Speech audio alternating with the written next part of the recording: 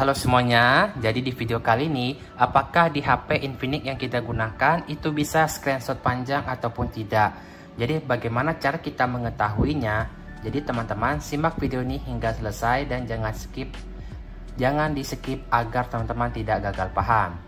Oke langsung saja kita contohkan. Nah di sini saya menggunakan HP Infinix. Jadi saya akan mengetahui apakah ini bisa di screenshot panjang ataupun tidak Oke langsung saja misalnya kita akan screenshot bidang yang bisa di scroll Nah bidang yang seperti ini. Jadi sekarang kita akan screenshot. Teman-teman bisa screenshot menggunakan tombol ataupun menggunakan shortcut.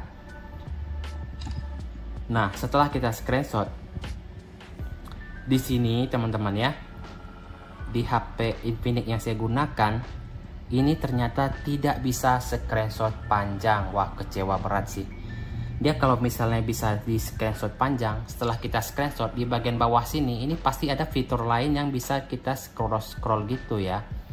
Tetapi di HP Infinix yang ini tidak bisa screenshot panjang teman-teman ya. Nah jadi begitulah cara kita mengecek atau mengetahui apakah bisa di screenshot panjang ataupun tidak ya semoga Infinix ke depannya biarpun HP murah tetapi dimiliki fitur screenshot panjang karena itu sangat penting ya teman-teman ya. Oke sekian informasi dari kami. Semoga bermanfaat. Dadah